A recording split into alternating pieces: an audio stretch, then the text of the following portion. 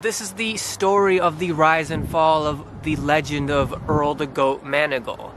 Him being a legendary, building his legend on the streets and parks of Harlem playing basketball to becoming addicted to drugs and then getting his life back together afterwards. The cast of this movie is beautiful. It's done wonderfully. The acting is amazing in this movie. This is my first time seeing Forest Whitaker in a movie. It's also my first time seeing Don Cheadle in a movie.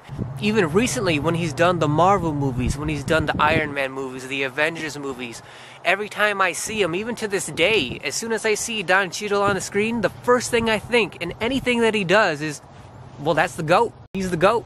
and I, I like that. I think that's kind of cool that as a basketball fan, whenever I see that guy, I just think Earl the GOAT Manigault. One of my first thoughts as I was watching this movie again was this is shot beautifully.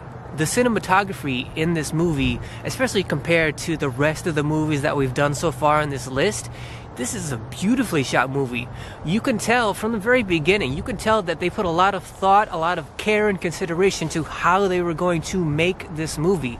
Everything about it is thought out so well and done so well, presented to us so well.